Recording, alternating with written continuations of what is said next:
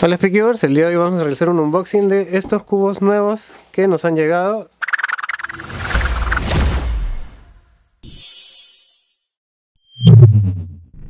Este es un cubo que se han inventado. Tiene unos cortes bastante agresivos, bastante salvajes en forma de ADN Supongo que girará, o tal vez, no sé, hasta que lo abra como un ready. Entonces tiene acá un centro que no sé cómo se va a mover este es un Master Morphix 6x6 si no me equivoco.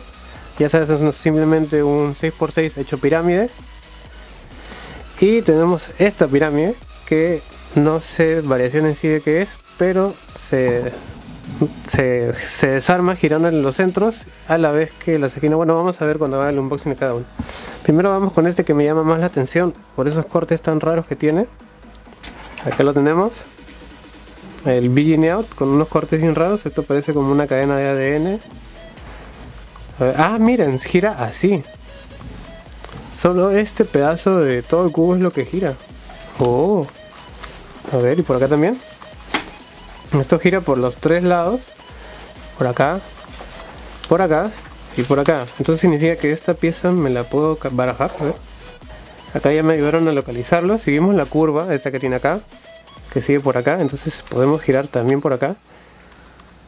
Wow esto se deforma bastante. Supongo que si lo dejo acá puedo seguir girando ya no no bueno después de hacer ese tipo de corte ya se, uy, se empieza a bloquear. A este es otro tipo de corte que podemos realizar. Con esto acá. Y lo cambio. Y lo cambio y wow, esto se deforma demasiado, me está dando miedo. Bueno, lo voy a regresar a su estado original porque tengo miedo de desarmarlo y no poder volverlo a armar. Una vez que ya investigue y cree mis propios algoritmos, ya lo desarmaré y lo armaré en otro video. Pasamos ahora con el Master Morphy 6x6, que es de Shenzhou.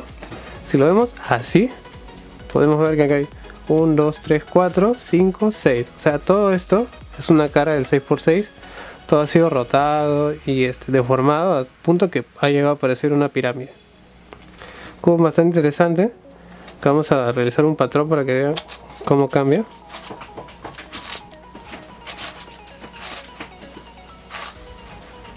Como podemos ver no se, no se deforma creo.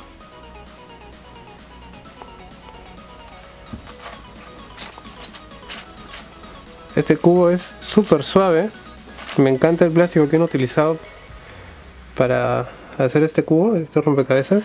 Está muy pero muy fácil de girar. Ok, si se forma chicos, confirmado. Ya. Y acá ya podemos ver que también el contraste de colores es muy bueno. Pasamos ahora al último, que también me llama mucho la atención porque nunca lo había visto. Acá tenemos este cubo nuevo, es el Pental Pyramid, si no me equivoco.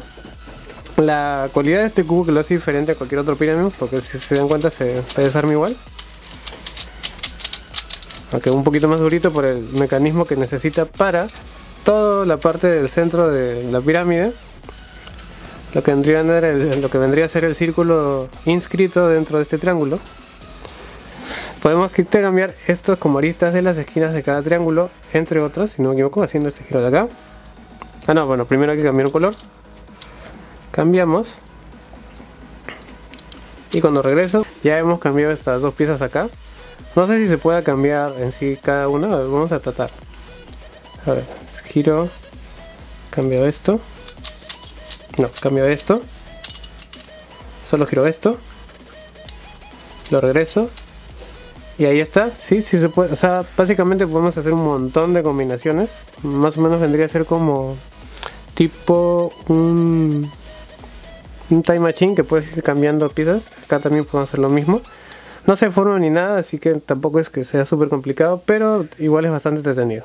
Y bueno chicos, eso ha sido todo por el video de, de estos cubos bastante curiosos que nos han llegado en este mes. Espero que les haya gustado, si es así dejen su like, acá les vamos a recomendar dos videos y nos vemos en otro.